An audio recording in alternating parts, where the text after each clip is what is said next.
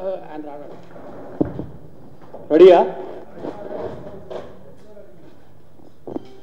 Media మిత్రులకు అందరూ నమస్కారం. భారతీయ జనతా పార్టీ రాష్ట్ర కార్యాలయంలో ఈరోజు గౌరవనీయులు పెద్దలు భారతీయ జనతా పార్టీ ఉపాధ్యక్షులు మాజీ శాసనసభ్యులు శ్రీ చింతల రామచంద్రారెడ్డి గారి ఒక పత్రికా సమావేశంలో మాట్లాడుతారు. వారితో పాటు హైదరాబాద్ సెంట్రల్ జిల్లా అధ్యక్షుడు డాక్టర్ గౌతమ్ రావు గారు మాంకాల్ జిల్లా అధ్యక్షుడు శ్యామ్ సుందర్ గౌడ్ గారు GHMC floor leader Shri Shankar Yadav గారు హైదరాబాద్ సెంట్రల్ జిల్లా ప్రధాన కార్యదర్శి శ్రీ సందీప్ సాయి గారి యొక్క పత్రికా సమావేశంలో పాల్గొంటారు. శ్రీ చింతల రామచంద్రారెడ్డి గారిని మాట్లాడవలసిందిగా కోరుతున్నాం. ఫ్రెండ్స్ అందరికీ నమస్కారాలు. కేసీఆర్ ప్రభుత్వము కేటీఆర్ మంత్రిత్వంలో విశ్వనగరంగా ఏదైతే మన భాగ్యనగరం అని అనుకుంటున్నామో ఒక చిన్నపాటి వర్షం వస్తే కాలనీ కాలనీలన్నీ కూడా జలమయమైపోతున్నాయి.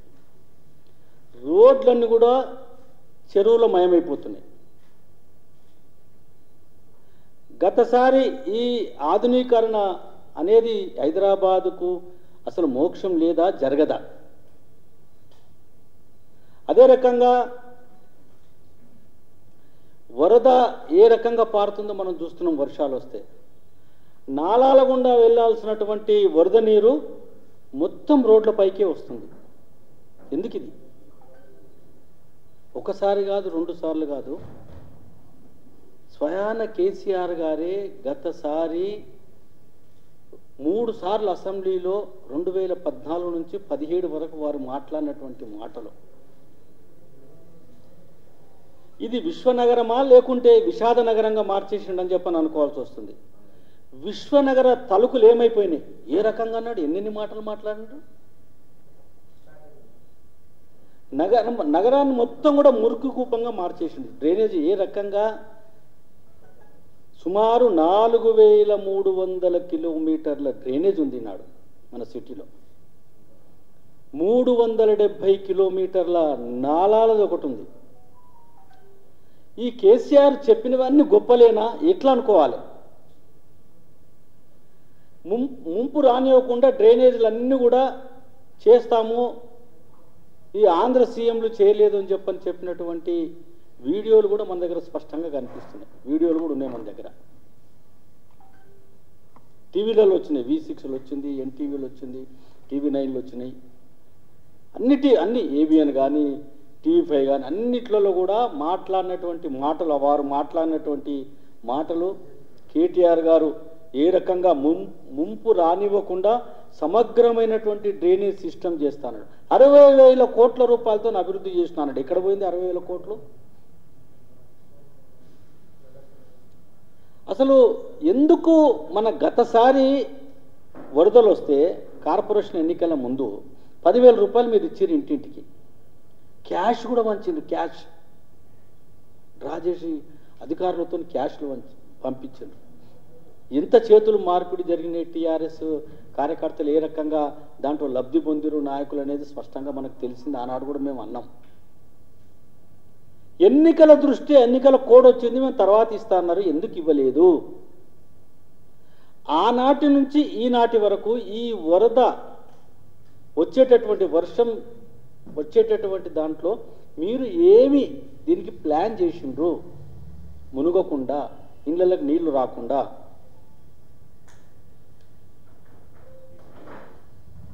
మనకి ఏమని చెప్పిండు ఆయన? హైదరాబాద్ చుట్టూర్త నాలుగు సూపర్ స్పెషాలిటీ హాస్పిటల్ కడతానడా లేదా ముఖ్యమంత్రి గారు? కట్టిండా ఎక్కడైనా? హైదరాబాద్ చుట్టూర్త ఏదైతే MGBS Mahatma Gandhi bus station ఏదైతే ఉందో అలాంటివి నాలుగు కడతానని చెప్పిండు హైదరాబాద్ చుట్టూర్త.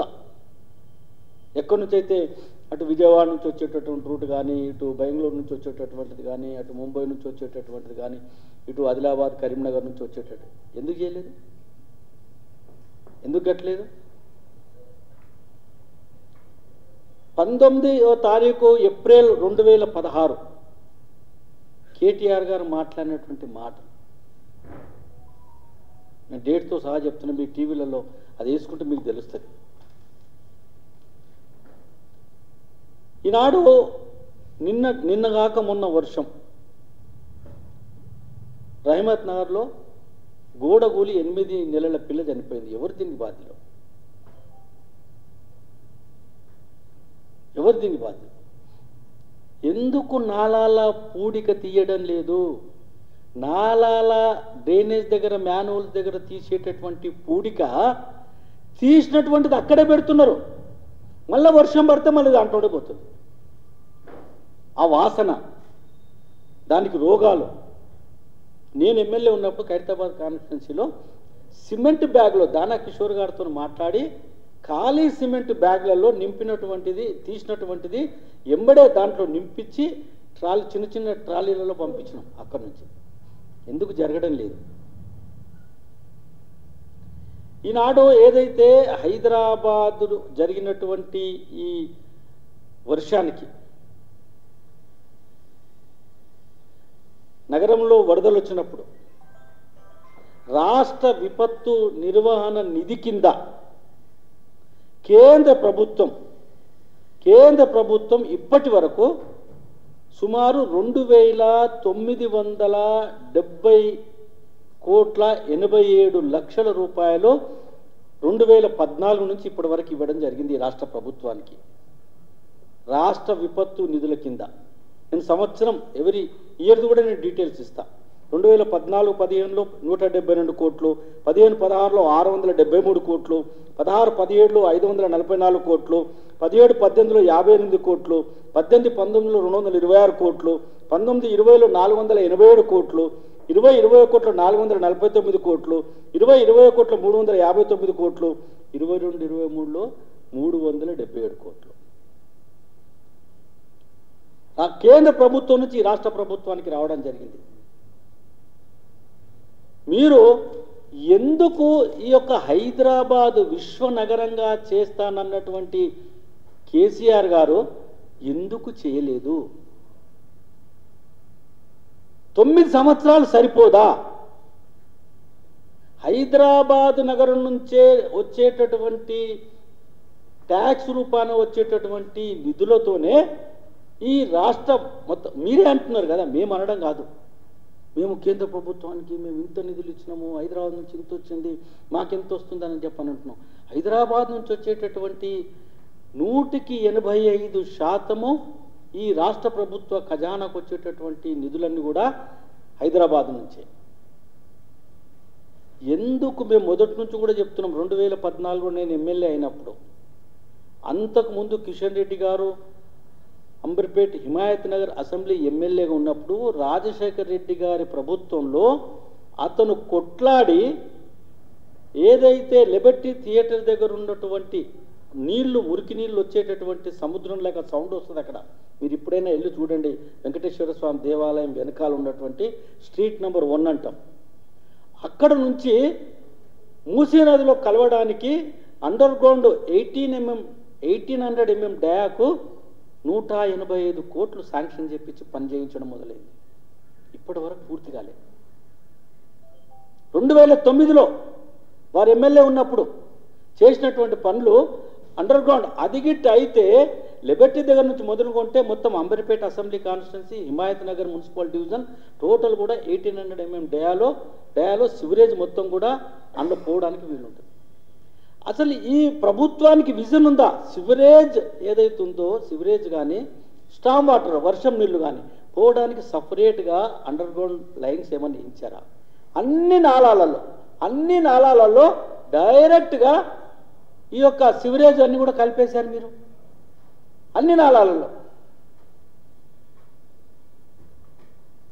కాబట్టి విజన్ లేనటువంటి ఈ ప్రభుత్వం హైదరాబాద్ మీద ఎందుకంటే హైదరాబాద్లో మాకు ఓట్లు రావు. నలభై ఎనిమిది మున్సిపల్ డివిజన్స్ గెలిచినాం మేము భారతీయ జనతా పార్టీ. చూశారు మీరు. సో రాబోయే ఎన్నికల్లో రాష్ట్రంలో మేము అధికారం రావడం ఖాయం. హైదరాబాద్ గ్రేటర్ హైదరాబాద్లో ఉన్నటువంటి అన్ని ఎమ్మెల్యేలు కూడా భారతీయ జనతా పార్టీ గెలవడం ఖాయం ఎక్సెప్ట్ కొన్ని చోట్ల తప్ప. ఇప్పుడు ఈ- ఇంత నిధులు కేంద్ర ప్రభుత్వం నుంచి ఇచ్చిన రాష్ట్ర ప్రజలు హైదరాబాద్ నుంచి ఇస్తున్నా కానీ కుక్కల్ని కుక్కల్ని కూడా కుక్కలతోని పిల్లలు చనిపోతున్నటువంటి దాని అయినా కానీ కేటీఆర్ కేసీఆర్ గారు ఒక్క మాట మాట్లాడతలేరే.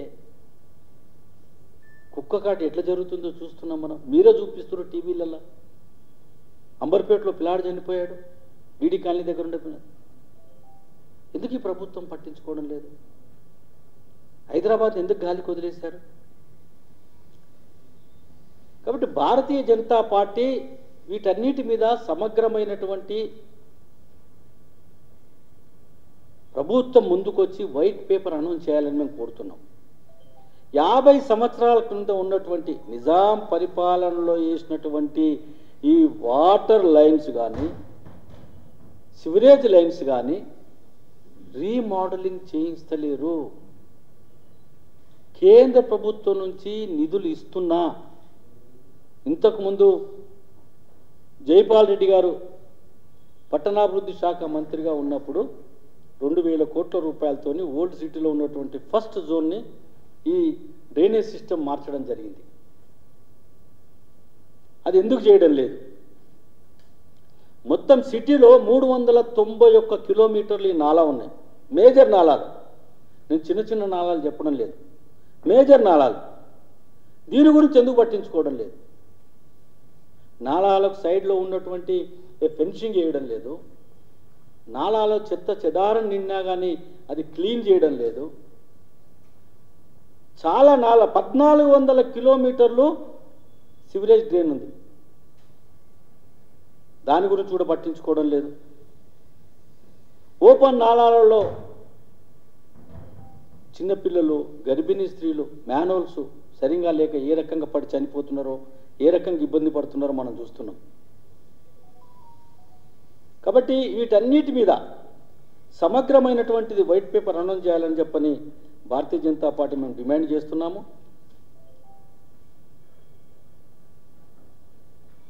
నాలాలు ఏవైతున్నో మేజర్ నాలాలు బంజారా నాలా ఒకటి ఉంది. ఈసుగూడ నాలా ఉంది. పికట్ నాలా ఉంది. బల్కాపూర్ నాలా ఉంది. బేగంపేట్ ఉమానగర్ నాలా ఉంది. కూకుట్పల్లి నాలా ఉంది. ఈ నాలాల నుంచి వచ్చేటటువంటి ఇండస్ట్రియల్ నుంచి వచ్చేటటువంటి వేస్టేజ్ ఏదైతుందో అది మొత్తం కూడా హుస్సేన్ సాగర్లో ట్యాంక్ బండ్లో కలుస్తుంది. ట్యాంక్ బండ్లో కలిసేటటువంటి దాన్ని ఈ దీనంతా కూడా తొలగించి మేము మంచినీళ్ళు నింపుతామని చెప్పిన ముఖ్యమంత్రి గారు స్వయాన అసెంబ్లీలో కూడా మాట్లాడారు. మేము కూడా విన్నాం. ఓ చాలా బాగా బ్రహ్మాండంగా జరుగుతుందని అనుకున్నాం. ఎందుకు ఇంతవరకు దాని గురించి పట్టించుకోలేదు? హైదరాబాద్ కావాల్సినటువంటి ఇంతకుముందు నీళ్ళు హిమాయత్ సాగర్ ఉస్మాన్ సాగర్ నుంచే మొత్తం హైదరాబాద్కు నీళ్ళు వ్యవస్థ ఉండేది. హైదరాబాద్ ఈ నీళ్ళుని ఇప్పుడు వాడడం లేదు. ఈ నీళ్ళు వాడితే నాలుగు రూపాయలకు వంద గ్యాలన్ల క్లీనింగ్ చేసి ఇచ్చేటటువంటి ఖర్చు అవుతుంది మంజీరా నీళ్ళు వచ్చినాయి మనకు హైదరాబాద్కు. Manjira project World Bank. World Bank loan sanction చేసినప్పుడు assure water compulsory drinking water హైదరాబాద్కి ఇవ్వాలి అని ఒక కండిషన్ పెట్టి దానికి వరల్డ్ బ్యాంక్ లోన్ ఇవ్వడం జరిగింది. హైదరాబాద్ దార్తి తీర్చడానికి. ఎందుకు మంజీరా నీళ్ళు ఇలా ఆప్ ఆఫ్ చేశారు మీరు? అది ఇరవై రూపాయల ఖర్చుతోని వంద గ్యాలన్లు మనకు ప్రతి మనిషికి అందియడానికి వీలవుతుంది. అది పోయింది. గోదావరి నీళ్ళు హైదరాబాద్ తీసుకురావాలని చెప్పని రాజశేఖర రెడ్డి గారు ముఖ్యమంత్రిగా ఉన్నప్పుడు వారు మేము వెంబడిపడి మా ఎమ్మెల్యేలు అందరూ కూడా వెంబడిపడి హైదరాబాద్ దారి తీర్చడానికి షామీర్పేట వరకు తీసుకొచ్చి షామీర్పేట నుంచి పైప్ లైన్ ద్వారా హైదరాబాద్కి ఇవ్వాలంటే వారు శాంక్షన్ చేసి డబ్బులు శాంక్షన్ చేసి వర్క్ రిపోర్ట్ టెండర్ కూడా ఇచ్చి చేసినటువంటిది. ఎందుకు హైదరాబాద్కు గోదావరి నీళ్ళు రావడం లేదు? Krishna first second third phase first phase Atal Bihari Vajpayee గారు ప్రధానమంత్రిగా ఉన్నప్పుడు అక్కడి నుంచి కేంద్రం నుంచి నిధులు వచ్చి మూడు వందల కోట్ల రూపాయలు అడుకో నుంచి దత్తాత్రేయ గారి నేతృత్వంలో ఇప్పించడం జరిగింది. చంద్రబాబు నాయుడు గారు ముఖ్యమంత్రి ఉన్నప్పుడు. ఫస్ట్ ఫేజ్ వాటర్ వచ్చింది. ఫస్ట్ ఫేజ్ వాటర్లో ఒక ప్రశాసన్ నగర్ జూబ్లీహిల్స్ మున్సిపల్ డివిజన్ ఖైరతాబాద్ అసెంబ్లీలో ఉన్నటువంటి ప్రశాసన్ నగర్లో ఉన్నటువంటి రిజర్వాయర్కు ఫస్ట్ ఫేజ్ వచ్చింది. అక్కడ నుంచి కొద్దిగా దారి తీర్చడం మొదలుపెట్టారు. సెకండ్ ఫేజ్ వచ్చింది థర్డ్ ఫేజ్ వచ్చింది. ఈ ఫస్ట్ సెకండ్ థర్డ్ ఫేజ్ అంతా కూడా డైరెక్ట్గా ప్రశాసన్ నగర్ దగ్గరికే ఆ ఒక్క రిజర్వాయర్కే. ఎన్ని రిజర్వాయర్లు ఎన్ని ట్యాంకులు మీరు ఇప్పటివరకు కట్టారు? హైదరాబాదులో ఉన్నటువంటి ఓవర్ ట్యాంక్స్ కానీ ఈ నీళ్ళు పంపింగ్ చేసి ఇరవై నాలుగు గంటలు నీళ్ళు ఇవ్వడానికి మీరేమైనా ఈ తొమ్మిది సంవత్సరాలలో ఓవర్ ట్యాంక్స్ కట్టి పైప్ లైన్ తీసి నీళ్ళు సరఫరా చేశారా? అసెంబ్లీలో స్వయాన ముఖ్యమంత్రి గారు మాట్లాడినటువంటి మాట ముప్పై టీఎంసీలు ముప్పై టీఎంసీలు రిజర్వాయర్ ఏదైతే కడతాను ట్యాంక్ కడతాను షామీర్పేట దగ్గర అని చెప్పాడు. రెండవది చోటుపల్లెవరు ఉన్నటువంటి దగ్గర ముప్పై టీఎంసీల నీళ్ళు రిజర్వేర్ కట్టి అరవై టీఎంసీల నీళ్ళతోని పదహారు టీఎంసీలు ఇంకా ఎక్కువ పెట్టి ఇండస్ట్రియల్ జోన్కు ఆ పదహారు టీఎంసీలు ఇస్తానని చెప్పని స్వయాన ముఖ్యమంత్రి గారు రెండు వేల పదిహేనులో అసెంబ్లీలో మాట్లాడాడు. ఎందుకు ఇవ్వలే? ఏమైంది ఆ ఎంత ముద్దుగా చెప్పినావు? రిజర్వేర్లు అసలు ల్యాండ్ అక్విజిషన్ జరిగిందా? దాని డిపిఆర్ వచ్చిందా? ప్లాన్ ప్లాన్ ఫైనల్ అయిందా? ఎస్టిమేషన్ ఏమైనా వేసారా దాని బడ్జెట్కి ఏమైనా అలికేషన్ చేశారా? అలికేషన్ చేస్తే ఏమైనా వాడినమా? హైదరాబాద్ అంటే ఎందుకు ఇంత చిన్న చూపు? ఈనాడు కృష్ణా నీళ్ళు ఏవైతే వస్తున్నాయో కృష్ణా నీళ్ళు ఫస్ట్ సెకండ్ థర్డ్ ఫేజ్ ఏదైతే వస్తున్నదో డెబ్బై ఐదు రూపాయలు ఖర్చు అవుతుంది. నేనేదైతే హిమాయత్ సాగర్ ఉస్మాన్ సార్ గండిపేట నీళ్ళు మనం వాడితే నాలుగు రూపాయలని నేను ఏదైతే చెప్పాను. అది వాడకుండా ఇలా నువ్వు రిజర్వ్ చేసి ఏదైతే పెడుతున్నావో Krishna first second third phase డెబ్బై ఐదు రూపాయలు అవుతుంది. ఈ ఖర్చు ఎవరు భరించాలి ఎన్ని సంవత్సరాల నుంచి ఉన్నటువంటి రిజర్వ్ ట్యాంక్స్ని మీరు క్లీన్ చేసిండ్రు? మురుగు నీరు ఈనాడు హైదరాబాద్లో ఉన్నటువంటి డ్రైనేజ్ మిక్సింగ్ వాటర్ తాగుతున్నారు చాలా బస్తీలలో చాలా స్లమ్లలో. ఎన్నిసార్లు చెప్పినా ఈ ప్రభుత్వం పట్టించుకోవడం లేదు. ఏమైనా ప్లాన్ చేసిండ్రా?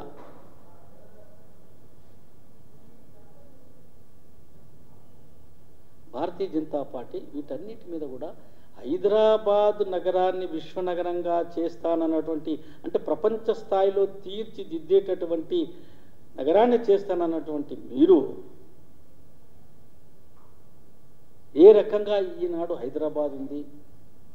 ముంపుకు అకాల వర్షంతో అకాల వర్షాలతో మొన్న నిన్న హైదరాబాద్ వరంగల్లో ఒక్క మాటనన్న ముఖ్యమంత్రి గారు కేటీఆర్ గారు మాట్లాడుతున్నారు. ఏమైంది? కెర్లోస్కర్ రిపోర్ట్ యాభై సంవత్సరాల క్రితం చేసినటువంటి యాభై సంవత్సరాల నుంచి వస్తున్నటువంటి వర్షపాతాన్ని రికార్డు చేసినటువంటి కిర్లోస్కర్ రిపోర్ట్ ఎక్కడ పోయింది? ఎందుకు బయటపెట్టడం లేదు? వీటన్నిటి మీద భారతీయ జనతా పార్టీ ఇన్ని నాళాలు ఉన్నాయి నాళాల గురించి పట్టించుకోవడం లేదు. నాళాల అన్యాక్రాంతం మీ యొక్క ఎమ్మెల్యేలు మీ టీఆర్ఎస్ బీఆర్ఎస్ నాయకులే కబ్జా చేస్తున్నారు. టీవీలలో మీరే చూపిస్తున్నారు ఎందుకు పట్టించుకోవడం లేదు. ఎంపీలు ఎమ్మెల్యేలు ఎవరికి ఇష్టం వచ్చినట్టు వాళ్ళు నాళాలు కబ్జాలు పెట్టుకొని ఎఫ్టిఎల్ ల్యాండ్స్ కూడా కబ్జా పెట్టుకొని వీటన్నిటి మీద కూడా వైట్ పేపర్ అనౌన్స్ చేయాలి. ఎందుకంటే కేసీఆర్ కేటీఆర్ గారు తెలంగాణ రాష్ట్ర ఆవిర్భావం జరిగినప్పటి నుంచి కూడా తండ్రి కొడుకులే ఈ యొక్క మున్సిపల్ అడ్మినిస్ట్రేషన్ మినిస్టర్స్గా ఉన్నారు ఇద్దరు. ఇన్ని వేల పెట్టుబడి వచ్చింది అన్ని వేల పెట్టుబడి వచ్చిందని చెప్తున్నటువంటి ముఖ్యమంత్రి గారు హైదరాబాద్ మా ఫ్లోర్ లీడర్ గారు చెప్తున్నారు ఇప్పుడు. ఈ సివరేజ్ క్లీనింగ్ చేసేటటువంటి మిషన్స్ మూడు జోన్లు కలిపి ఒక మిషన్ ఉందంట. అంతేనా? మూడు జోన్ మూడు జోన్లు. ఒక్కొక్క కార్పొరేటర్ గారికి మూడు రోజులు నాలుగు రోజుల తర్వాత ఒక రోజు వస్తుంది అంటారు ఆ మిషన్స్. ఎట్లా అవుతుంది బీజేపీ కార్పొరేటర్ అంటే అసలు ఆ ఏరియాలోకి పంపించారు ఏదో మా ఫ్లోర్ లీడర్ ఉన్న కాబట్టి నోరు తెరిచి గట్టిగా అడుగుతాడు కాబట్టి ఆయన దగ్గరికి ఏదో వస్తుంది. కాబట్టి హైదరాబాద్ సుందరీకరణలో ఏదైతే చుట్టుపక్కల ఉన్నటువంటి నాలాలు మనది మీ దగ్గర ఉన్నది ఏంటిది అది? ఆ? అఫ్జల్ సాగర్ నాలా. మేదిపట్నం నుంచి బంజారా హిల్స్ దగ్గర నుంచి సిబిఎస్ దాకా పోతుంది. ఎందుకు దీన్ని క్లీన్ చేస్తలేదు ఇంకోటి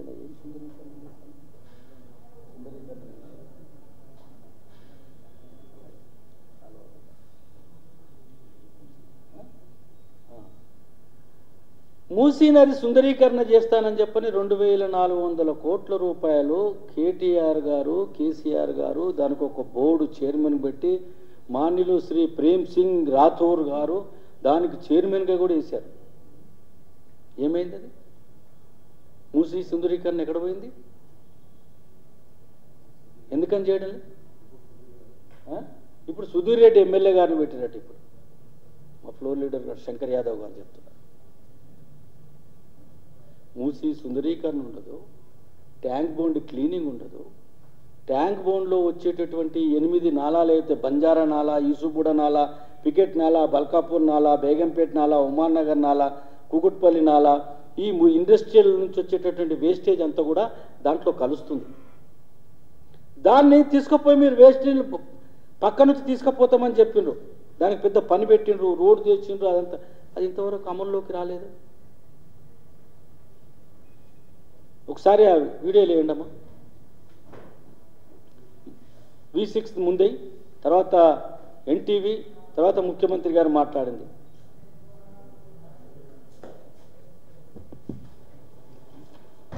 హైదరాబాద్ అనగానే చార్మినార్ లేకుంటే హుసేన్ సాగర్ లా బుద్ధుడినే చూపిస్తారు. పెద్ద చెరువు. చుట్టూ అద్దాల రోడ్డు.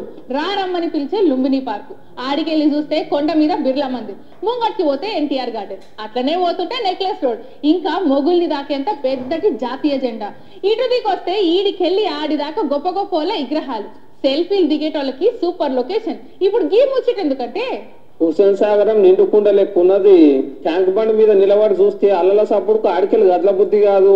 మీదికెళ్ళి వరద నూకొచ్చే వరకు తూము తెరిచి నీళ్ళని కిందికేడుస్తున్నారు అంత మంచిగానే ఉన్నది కానీ సాగరం నీళ్ళే గలీజు. నాలల మురుగు మొత్తం ఇళ్ళనే కలుస్తున్నది.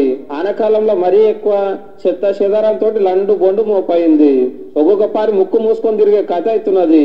కానీ తెలంగాణ వచ్చిన కొత్తలో కుద్దు సీఎం సారే వీడికొచ్చి చూసి అయ్యో హుసేన్ సాగరం గిత్తద్వానమా ఆంధ్ర సీఎంలు పట్టించుకోలే అని మస్తు బాధపడ్డాడు. చెల్ మొత్తం నీళ్ళు ఎత్తిపోస్తాం కొత్త నీళ్ళు నింపుతాం కొబ్బరి నీళ్ళ ఉండాలి రూపాయి బిల్లు వేస్తే అడుగు పడ్డా కనబడేంత వేయేస్తాం అన్నాడు గణపతులన్నీ ఈడనే వేయకుండా పట్నం చుట్టూరా చెరువులు తవ్విస్తామన్నాడు కేసీఆర్ సారు. ఇక నాలుగేళ్ళ కిందట మంత్రి రామన్న కూడా నాలుగొద్దులు ఆత్రం మాత్రం చేసిండు. రేపే హుసేన్ సాగరం దేవుని గుండం అవుతుందన్న లెవెల్ ఎన్ని డబ్బులు ఖర్చు అయినా సరే కానీ హుస్సేన్ సాగర్ని ఒక మంచినీటి సరస్సుగా ప్రక్షాళన చేయాలనే ఒక లక్ష్యాన్ని పెట్టుకున్నాం. కానీ హుసేన్ సాగర్ నాలాలు బంద్ చేసింది లేదు నాసు తీసింది లేదు మంచినీళ్ళు నింపింది లేదు. అప్పటికంటే ఇంకింత అధ్వానమే ఉన్నది. దెబ్బ దెబ్బ కొత్త సచివాలయం కడుతున్నారు కానీ దాని ముంగట గబ్బు నీళ్ళు ఉన్నాయి. జల్దిన కొబ్బరి నీళ్ళు వేసుకుంటే చాలరు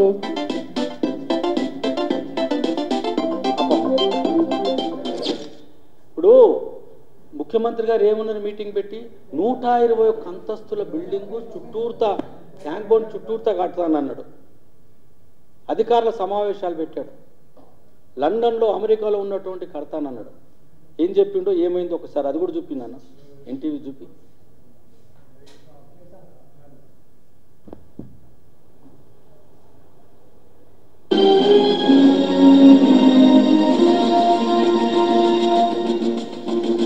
thank you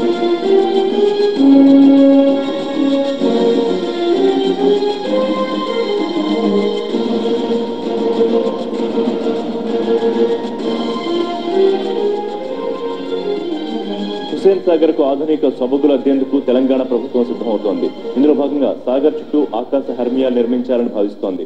సాగర్ చుట్టూ వంద అంతస్తుల భవనాలను నిర్మించి పరిశుభ్రమైన మంచినీటి సరస్సుగా మారుస్తా ఉన్నారు CM KCR.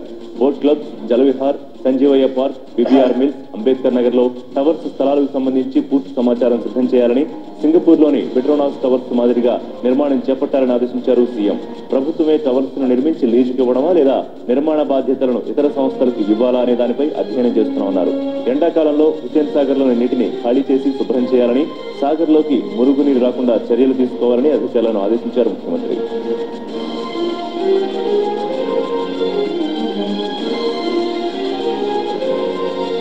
ముఖ్యంగా అరవై నుంచి వంద అంతస్తులు నిర్మించే ప్రతిపాదనపై అధికారులతో కేసీఆర్ సుదీర్ఘంగా చర్చించారు. ప్రపంచంలోని మరే నగరానికి హైదరాబాద్ తీసుకోని విధంగా తయారు చేయాలని ప్రభుత్వం భావిస్తోంది. బహుళ అంతస్తుల భవనాల వల్ల అనేక ప్రయోజనాలు ఉన్నాయని తక్కువ స్థలం ఎక్కువ కార్యకలాపాలు నిర్వహించడం సాధ్యమవుతుందని కేసీఆర్ అభిప్రాయపడ్డారు. ప్రజలకు కావాల్సిన ప్రభుత్వ కార్యాలయాలు వినోద కేంద్రాలు ఇతర ప్రభుత్వ ప్రైవేట్ సంస్థలను ఇందులో నెలకొల్పేలా ప్లాన్ చేయాలని నిర్ణయించారు సీఎం కేసీఆర్. సాగర్ చుట్టూ ఉన్న పేదలకు అవసరమైతే టవర్స్లో వసతి కల్పించేలా ఏర్పాట్లు చేస్తా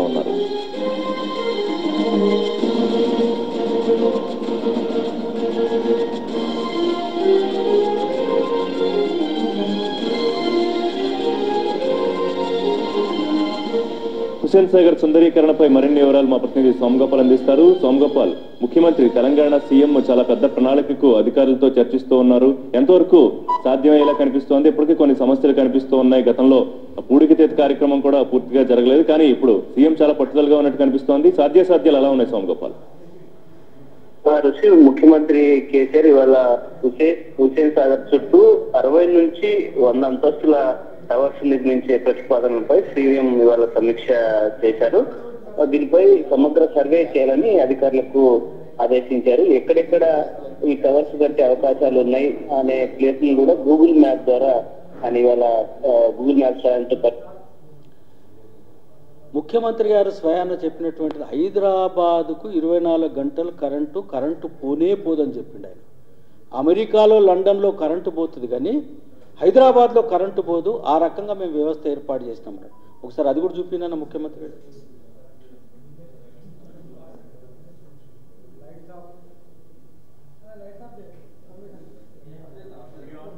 ఇదొకటే ఇంకా వేరే ఎక్కువ చూపించలే. ముఖ్యమంత్రి గారు మాట్లాడింది కూడా మీరు గుర్తు చేస్తున్నాం అంతే మీ దగ్గర లేకే కాదు మీ దగ్గర అన్నీ ఉంటాయి మీకు మీ మీ లైబ్రరీలో మొత్తం కొట్టంగానే వస్తుంది.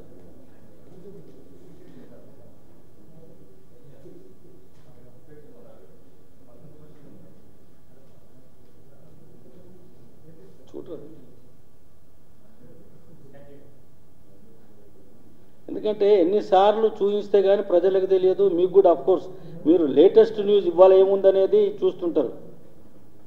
అందుకని మీకు అప్పుడప్పుడు గుర్తు చేస్తున్నాం. ఈ ముఖ్యమంత్రి గారు చెప్పినటువంటిది హైదరాబాద్ని ఏ రకంగా తీర్చిదిద్దుతానని చెప్పినటువంటి ముఖ్యమంత్రి గారు ఒక గుంత గుంత చూపిస్తే వెయ్యి రూపాయలు ఇస్తాడు ఎన్ని గుంతలు ఉన్నాయో మీకే తెలుసు. మీ నడుములు ఎట్లా పోతున్నాయి? ఎందుకంటే మీరు స్కూటర్ల మీద వస్తారు. మీకే తెలుసు. దూర ప్రాంతాల నుంచి సుదీర్ఘ ప్రాంతాల నుంచి వస్తారు. హైదరాబాద్ చుట్టూరులో ముప్పై ముప్పై ఐదు కిలోమీటర్ దూరం నుంచి.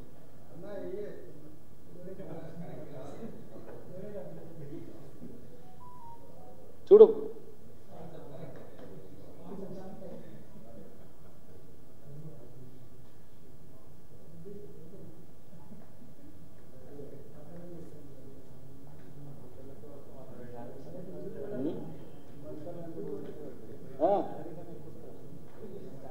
గుంతలు లెక్క పెట్టి మీరు టీవీలలో చూపిస్తే మనకు చాలా చాలా డబ్బులు వస్తాయి మనందరికీ.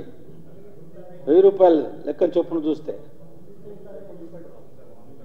అందుకని మా కిషన్ రెడ్డి గారు అన్నారు గుంత లేనిది ఎక్కడో చూపిస్తే వెయ్యి రూపాయలు ఇస్తాన్నాడు ఆయన. గుంత లేని చోట ఏదైతుంది సాఫ్గా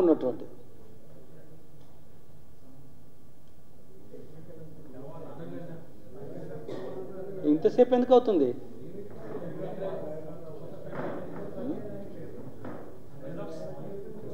అయిపోయింది లాస్ట్ ఒకటే ఒకటే నిమిషం. కరెంటు గురించి ఏ రకంగా మాట్లాడింది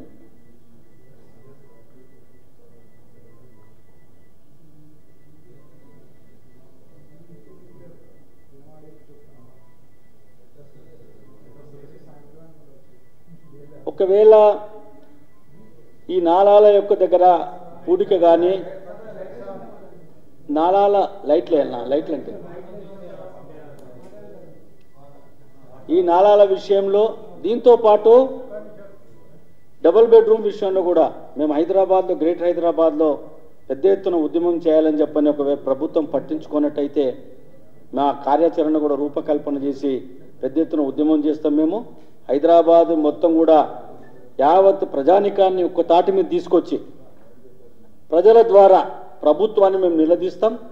మాకున్న గ్రేటర్ హైదరాబాద్లో నూట యాభై డివిజన్లలో ఉన్నటువంటి ప్రజలందరినీ కూడా సమీకరించి పెద్ద ఎత్తున ఉద్యమం చేయాలని చెప్పని మేము వచ్చిందా? ఆ రకం కూడా మేము కార్యక్రమం రూపకల్పన చేస్తున్నాం. ప్రభుత్వానికి ఇది ఒక హెచ్చరికగా. ఎందుకంటే వర్ష ఇది ఎండాకాలం. ఎండాకాలంలో అకాల వర్షాలు వస్తున్నాయి. ఈ వర్షాలకే మొన్న రాత్రి పడ్డటువంటి వర్షాలకే ఏ రకంగా కాలనీ వాసులు ఇబ్బంది పడ్డారు కాలనీలలో స్లమ్లే కాదు కాలనీలలో అపార్ట్మెంట్లలో కూడా నీళ్ళు వచ్చేసినాయి. అంత వర్షం వచ్చింది. ఎందుకు ఈ ప్రభుత్వానికి ఒక విజన్తో పనిచేస్తలేదు? వచ్చినప్పుడే చేతులు దులుపుకుంటున్నారు. అప్పటిదప్పుడు ఏదో ఒకటి తూతుంబాలు చేసి పైసలు ఇస్తే అయ్యేటటువంటిది కాదు ఇది. నువ్వు లక్ష రూపాయలు కూడా ఇస్తే ఇంట్లో సామాన్లు పోయినటువంటిది బాగా ఎందుకు పర్మనెంట్గా పర్మనెంట్గా ఒక విజన్తో పనిచేయాలి. ఆ విజన్ చేయాలంటే underground strong water sewerage రెండు కూడా వేరే వేరే పోయేటట్టు గిట్ట ప్లాన్ చేస్తేనే ఈ హైదరాబాద్ను మనం రక్షించుకోగలం. మనకు తెలుసు ఎన్ని స్లమ్స్ ఉన్నాయి. సుమారు ఏడు నుంచి ఎనిమిది వేల స్ల ఎనిమిది వేల స్లమ్స్ ఉన్నాయి హైదరాబాద్లో. నోటిఫైడ్ స్లమ్సే పన్నెండు వందల అరవై స్లమ్స్ ఉన్నాయి. Notified స్లమ్సే. Municipal corporation of Hyderabad greater Hyderabad చేసినటువంటి నోటిఫైడ్ స్లమ్స్. వీళ్ళందరినీ మనం రక్షించుకోవాలి. వీళ్ళందరికీ వసతులు ఇవ్వాలి. వచ్చిందా? థ్యాంక్ యూ నేనే స్వయంగా పర్యవేక్షించి పట్టుబట్టి హైదరాబాద్ను పవర్ ఐలాండ్గా మార్చినాం. పవర్ ఐలాండ్ అంటే రాష్ట్రంలో ఉండేటువంటి అన్ని జనరేటింగ్ స్టేషన్లతోని స్టేట్ ఎలక్ట్రిసిటీ గ్రిడ్తోని అట్లాగే భారతదేశ ఎలక్ట్రిక్ గ్రిడ్తో నేషనల్ ఎలక్ట్రిక్ గ్రిడ్తో కూడా హైదరాబాద్ నగరం పవర్ సెక్టార్లో అనుసంధానం అయిపోయింది. అంటే ఒక మాటలో చెప్పాలంటే న్యూయార్క్ నగరంలో లండన్లో ప్యారిస్లో కరెంటు పోవచ్చు కానీ హైదరాబాద్లో మాత్రం కరెంటు పోదు పోదు పోదు అని మనం చేస్తూ ఉన్నాం. ఇష్టం. హైదరాబాద్లో అది ఇంకా బాగా విస్తరించాల్సిన అవసరం ఉంది. మనకు బిహెచ్ఎల్ నుంచి ఈ మెట్రో కలిసే విధంగా మెట్రో రైలు రావాల్సిన అవసరం ఉంది. హైదరాబాద్ అవుటర్ రింగ్ రోడ్లో కూడా హైదరాబాద్ చుట్టూ కూడా మెట్రో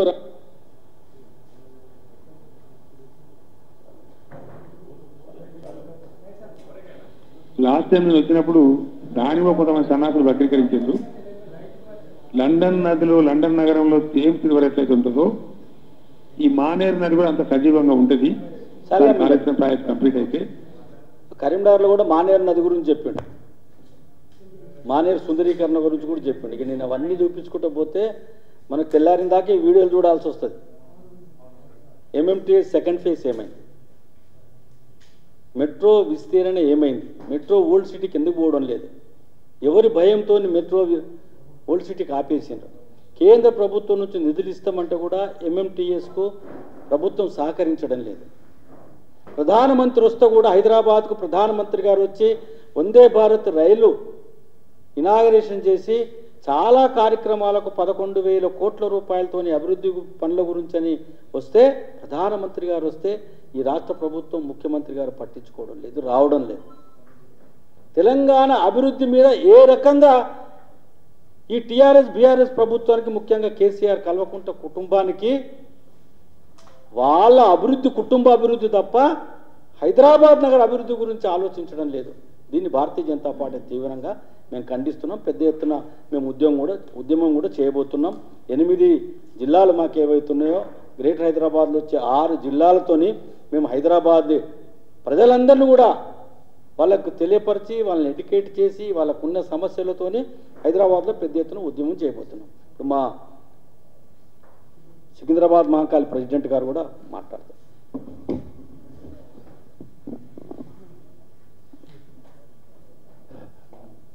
ఇంతకుముందు మా రాష్ట్ర నాయకులు రామచంద్ర గారు అనేక విషయాలు చెప్పారు.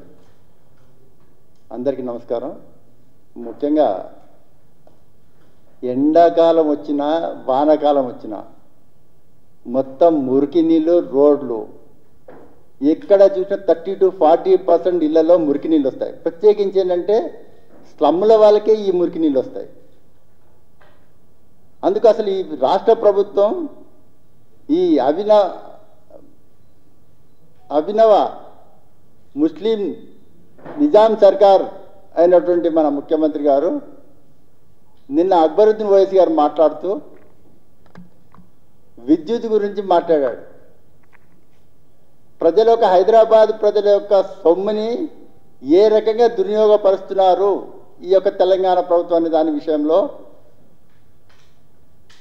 ప్రతి సంవత్సరము ఆరు వందల డెబ్బై కోట్లు ఈ విద్యుత్ పైన నష్టపోతుంది అంటే ఈయన తొమ్మిది సంవత్సరాలు వస్తే ఆరు వేల ఏడు వందల యాభై కోట్లు సుమారు ఈ తెలంగాణ హైదరాబాద్ నగర ప్రజలకు సంబంధించిన డబ్బుని అంటే ఒక తెగకు ఒక వర్గానికి దోచిపెట్టినట్టు ఇండైరెక్ట్గా అంటే దీనివల్ల ఎంత దుర్వినియోగపరుస్తున్నారో ఈ యొక్క తెలంగాణ ముఖ్యమంత్రి గారు కానివ్వండి కేటీఆర్ కానివ్వండి దీన్ని బట్టి ఆలోచిస్తారు కేవలం ఓటు బ్యాంక్ గురించి మాత్రమే ఇలాంటి అవకతవకలు జరిగినా అనేక రకాలుగా హైదరాబాద్లో ఉన్న ప్రజలు నైంటీ పర్సెంట్ ట్యాక్స్ కడతారు మున్సిపాలిటీ కార్పొరేషన్లో. నేను ఓల్డ్ సిటీ అని చెప్పను. ఒక తెగవారు ట్యాక్స్ కట్టకపోయినా వసూలు చేసే దమ్ము ఈ యొక్క తెలంగాణ ప్రభుత్వానికి లేదని చెప్పేసి నేను సెలవిస్తున్నాను నమస్కారం. మా మున్సిపల్ కార్పొరేషన్లో మా పార్టీ నాయకుడు శ్రీ శంకర్ యాదవ్ గారు కూడా ఒక నిమిషం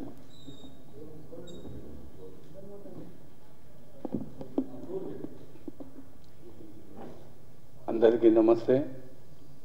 ఇంతవరకు అన్ని విషయాలు క్లుప్తంగా మన రామచంద్రరావు గారు శ్యామ్ సుందర్ గారు బాగా క్లుప్తంగా చెప్పారు.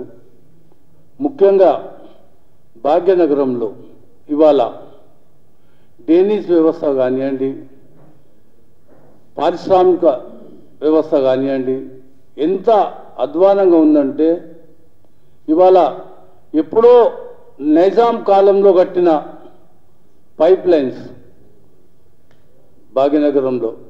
అదేవిధంగా అప్పటి జనాభాకు తగ్గట్టు ఆ పైప్ లైన్స్ వేసినారు ఆ తర్వాత ఈ యాభై సంవత్సరాల నుండి కూడా ఎన్నడూ కూడా ఆ పైప్ లైన్లు మార్చలేదు.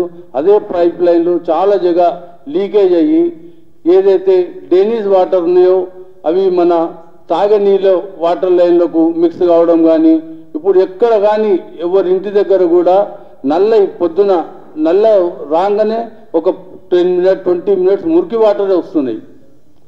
అది కాక ప్రతి బస్సులో వన్ అవర్ వాటర్ ఇస్తున్నారు. ఓకే ఇవాళ జనాభా పెరిగింది. కాబట్టి అవే ఓరల్ ట్యాంకులు అవే పైప్ లైన్స్ ఉన్నాయి కాబట్టి కొంచెం ఇబ్బంది అవుతుంది. కానీ ఈ గవర్నమెంట్ ఇన్ని సంవత్సరాలు తొమ్మిది సంవత్సరాలు గవర్నమెంట్ వచ్చిన తర్వాత ఒక్క పైప్ లైన్ కూడా ఏ బస్సులో కూడా ఇవ్వలేదు. అదే నీకు కోట్ల రూపాయలు పెట్టి మంచిగా ఉన్న సెక్రటరేట్ని కూలగొట్టి సెక్రటరేట్ కట్టాడు. అవే పైసలు మా భాగ్యనగర్కు ఈ సివరేజ్ కానివ్వండి వేరే చిన్న చిన్న వాటికి ఎంతో ఉపయోగపడుతుండే. ఎందుకంటే మీకు సెక్రటరేట్ కడితే పెద్ద ఎత్తున పాలకులకు కమిషన్లు వస్తాయి కాబట్టి మంచిగా ఉన్న హెరిటేజ్ బిల్డింగ్ అది అసలు రజాకార్ టైంలో కట్టిన మన సెక్రటరీడు దాన్ని కులగొట్టడానికి వచ్చింది కానీ ఈ పేద ప్రజలకు ఏదైతే ఇబ్బంది పడుతుండ్రో సందులలో ఇవాళ రోడ్ బైండింగ్ అనుకోండి వాటర్ పైప్ లైన్ అనుకోండి దేనికి కానీ ఎంత ఇబ్బంది పడుతున్నారు ప్రజలు?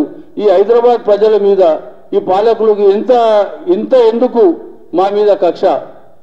ఎందుకంటే వాళ్ళకు ఒకటే మాకు ఒక వర్గం వారు ఎవరు వేయకున్నా చేయకున్నా వాళ్ళు చేస్తారన్న ధీమతో వాళ్ళు ఉండి ఈ భాగ్యనగరంని ఇవాళ భాగ్యనగరంలో టెక్స్ ఎంత వసూలు చేస్తున్నారండి?